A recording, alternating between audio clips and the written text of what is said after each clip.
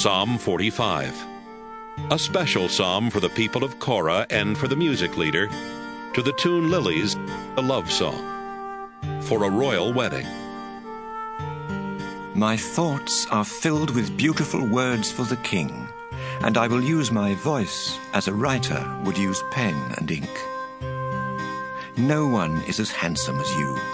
Your words are always kind. That is why God will always bless you. Mighty King, glorious ruler, strap on your sword and ride out in splendor. Win victories for truth and mercy and justice. Do fearsome things with your powerful arm. Send your sharp arrows through enemy hearts and make all nations fall at your feet. You are God, and you will rule forever as king. Your royal power brings about justice. You love justice and hate evil. And so your God chose you and made you happier than any of your friends. The sweet aroma of the spices, myrrh, aloes, and cassia, covers your royal robes.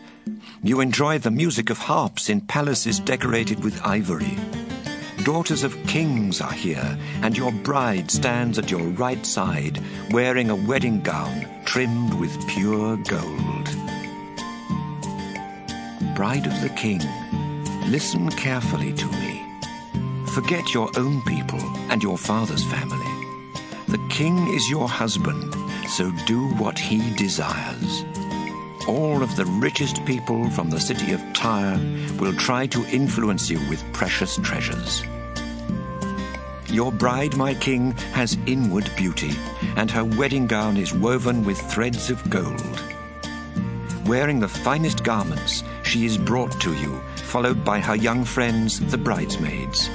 Everyone is excited as they follow you to the royal palace. Your sons and your grandsons will also be kings, as your ancestors were. You will make them the rulers everywhere on earth.